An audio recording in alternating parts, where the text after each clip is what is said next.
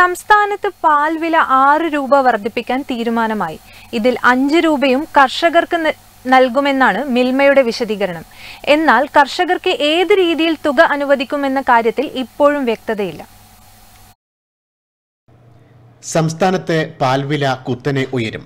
December ഒന്ന് മുതൽ ഒരു ലിറ്റർ പാലിന് ആറ് രൂപയാണ് വർദ്ധിക്കുന്നത്.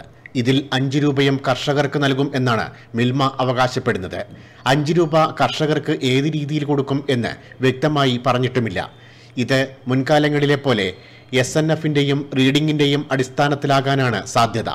അങ്ങനെ വരുമ്പോൾ കർഷകന് പരമാവധി ലഭിക്കുന്നത് രണ്ട് രൂപ മാത്രമായിരിക്കുമെന്ന് കർഷകർ പറയുന്നു. അതായി കഴിഞ്ഞാൽ നമുക്ക് ഇവർ അഞ്ച് റുപ്യ ഇപ്പോൾ കൂടി തരുന്നത് നമുക്ക് നാൽപ്പത്തിരണ്ട് റുപ്യ നാൽപ്പത്തി മൂന്ന് റുപ്യ കിട്ടേണ്ട അവസ്ഥയാണ്.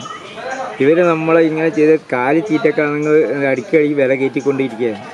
അതിപ്പോൾ ഇപ്പോഴത്തെ പോലെ കൂട്ടിയാൽ നമുക്ക് ഈ അവസ്ഥയിൽ കാലിനെ പോറ്റുന്നത് തന്നെ ഭയങ്കര അവസ്ഥയിലാണ് കടബാധ്യത വരുന്ന അവസ്ഥയിലാണ് നമ്മൾ പോകുന്നത്.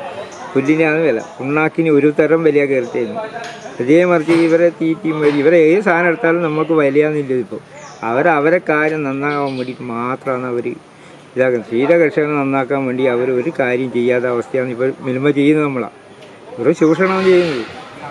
അതുപോലെ തന്നെ ഇപ്പം മറ്റുള്ള കാര്യങ്ങളെല്ലാം ഓരോ കർഷകനും കിട്ടുന്നത് പാലിന്റെ പൈസ കിട്ടുന്നുണ്ട് പറഞ്ഞാൽ ആരും അത് പുറത്ത് പറയാത്ത അവസ്ഥയായതുകൊണ്ടാണ് ഈ പറയുന്നത്. ഒരാൾ പറയും മുപ്പത്തിരണ്ട് രൂപ കിട്ടിയാലും അവർ പറയും ഞങ്ങൾക്ക് ഒന്നുമില്ല എന്ന് പറഞ്ഞാൽ ഇങ്ങനെ ഒപ്പിച്ച് പോകുന്നതാണ്. മറ്റേ ഇപ്പം തന്നെ മൊത്തത്തിൽ ഇപ്പം കീഴ കർഷകർ ഇല്ലാത്ത അവസ്ഥയിലാവാൻ പോയത് പാലിന്റെ ഫാക്റ്റും അനുബന്ധ ഘടകങ്ങളും പരിഗണിച്ചാണ് കർഷകർക്ക് മിൽമ വില നൽകുന്നത്.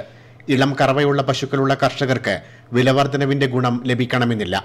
വറ്റുകറവയുള്ളവർക്ക് മാത്രമേ ഏകദേശം ഈ വില ലഭിക്കാൻ സാധ്യതയുള്ളൂ.